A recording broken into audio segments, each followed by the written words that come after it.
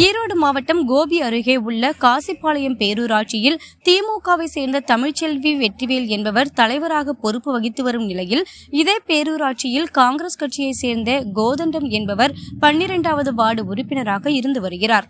இந்நிலையில் பன்னிரண்டாவது வார்டில் குடிநீர் பற்றாக்குறை இருப்பதால் அப்பகுதியில் கூடுதலாக குடிநீர் தொட்டி அமைத்திட வேண்டும் என்றும் அதற்கான திட்ட மதிப்பீட்டினை வழங்குமாறும் காசிப்பாளையம் பேரூராட்சி செயல் அலுவலரிடம் கடந்த இரண்டு மாதங்களுக்கு முன்பு காங்கிரஸ் கட்சியைச் சேர்ந்த கோதண்டம் மனு அளித்திருந்தார். ஆனால் இதுவரையில் காங்கிரஸ் உறுப்பினர் கோதண்டன் வழங்கிய திட்ட மதிப்பீடு குறித்த மனுவின் மீது எவ்வித நடவடிக்கையும் எடுக்காத திமுகவை சேர்ந்த பேரூராட்சி தலைவரையும் செயல் அலுவலரையும் கண்டித்து காசிப்பாளையம் பேரூராட்சி அலுவலகம் முன்பு தரையில் அமர்ந்து தர்ணா போராட்டத்தில் ஈடுபட்டார். அனைவருக்கும் வணக்கமுங்க. என்னோட பேர் கே எஸ் கோதண்டன். காசிவளையம் கோபி பேரூராட்சியின் பன்னிரெண்டாவது வார்டு உறுப்பினராக இருக்கிற தி திமுக கூட்டணியில் காங்கு காங்கிரசினுடைய பேரூரா அங்கம் வகிக்கின்ற காங்கிரசினுடைய வேட்பாளராக நின்று வெற்றி பெற்றேன். காசிவளையம் கோபி பேரூராட்சியில் ஒன்றரை ஆண்டு காலமாக அனை எந்த பணியும் செய்யவில்லை. நான்கே நான்கு தெருவிளக்குகள் மட்டும் இருக்கின்ற மின் கம்பங்களில் மட்டும் போடப்பட்டிருக்கின்றது. மற்ற கம்பங்களிலெல்லாம் போடப்படவில்லை புதிதாக அமைக்கப்படவில்லை. மேலும் வந்து நான் நான்கு இடங்களில் அத்தியாவசிய அவசிய தேவையான குடிநீர் தொட்டி சின்டெக்ஸ் மூலம் அமைத்து தருவதற்காக திட்ட மதிப்பீடு கேட்டிருந்தேன். திட்ட மதிப்பீட்டினை கடந்த இருபத்தி எட்டு நான்கு ரெண்டாயிரத்தி இருபத்தி மூன்று அன்றே அளித்திருந்தேன் மனுவாக.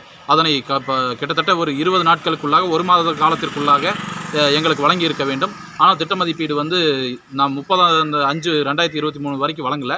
அதன் காரணமாக வந்து நினைவூட்டல் கடிதம் மறுபடியும் வந்து செயல் அலுவலர் காசிபாளையம் செயல் அலுவலர்கிட்ட கொடுத்துருந்தேன். அதற்கு நடவடிக்கை எடுத்ததாக தெரியல. நான் வந்து கடந்த மீட்டிங் முடிஞ்ச அன்னைக்கு முப்பது ஆறு ரெண்டாயிரத்தி இருபத்தி மூணு அன்னைக்கு வந்து கேட்டேன். வாய்மொழியை கேட்டதுக்கு ஈவோ சார் இருந்துட்டு செயலாளர் அலுவலர் இருந்துட்டு இந்த மாதிரி வச்சுருக்கிறேன்.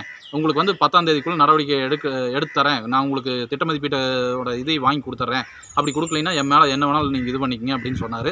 அதன் பேரில் வந்து இன்றைக்கி பதினொன்று ஏழு ரெண்டாயிரத்தி இருபத்தி மூணு ஆகிடுச்சு அவர் சொன்னதை விட ஒரு நாள் அதிகமானதுனால திட்ட மதிப்பீடு இன்றைக்கி வரைக்கும் வழங்காததுனால வந்து கேட்டேன். அப்படியெல்லாம் கொடுக்கணுங்கிறது இல்லை. தலைவர் கொடுக்க வேணான்ட்டாங்க செயலாளர் அதனால் வந்து நான் கொடுக்க மாட்டேன் அப்படின்னு சொல்லி செயலாளர் சொன்னார். அதன் பேரில் வந்து இன்றைக்கி கொடுக்குற வரைக்கும் நான் தொடர் தர்ணா போராட்டத்தில் ஈடுபட்டேன்.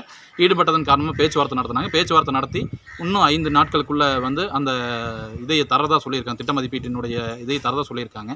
ஃபண்டு நான் ஆறுகிட்ட வாங்கினேன் அவங்களுக்கு என்னங்க? நான் வந்து சட்டமன்ற உறுப்பினர்கிட்ட வாங்குறேன். அதை நாடாளுமன்ற உறுப்பினர் நாடுறேன். இல்லை நான் க- கடைசி காமராஜரை போல் பிச்சை எடுத்தாவது அந்த இதை வந்து மக்களுக்காக நான் செஞ்சுட்டு போகிறேன் நீங்கள் அதையெல்லாம் எதுக்கு கேட்குறீங்க நான் யார்கிட்ட வேணாலும் வாங்குறேன். அந்த ஃபண்டை நீங்கள் வாங்கி கொடுக்க சொல்லி கேட்டிங்கன்னா நான் எதுக்கு பேரூராட்சி நிர்வாகத்துக்கு வாங்கி கொடுக்கணும்? என்னுடைய வார்டு மக்களுக்கு தான் நான் பணி செய்ய முடியும். பேரூராட்சி நிர்வாகத்துக்கு பயனுள்ள வகையில் நீங்கள் பயன்படுறதா இருந்தால் நான் கண்டிப்பாக எதாக இருந்தாலும் செய்கிறது தயாராக இருக்கேன்